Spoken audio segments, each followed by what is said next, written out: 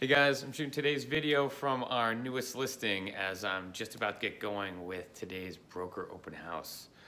Uh, as you've seen, I've been posting a lot about mortgage interest rates recently. Um, they were up just before the holidays and people, especially buyers, began to get hesitant about the idea of buying a home. However, rates have again dropped significantly and are now lower than they were even at this time last year.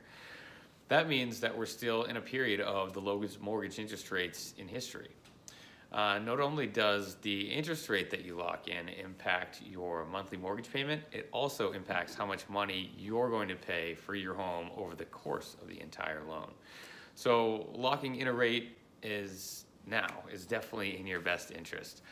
Um, so here's a fun video that shows the cost of buying a home over the past 50 years, decade by decade. Enjoy. Thank you.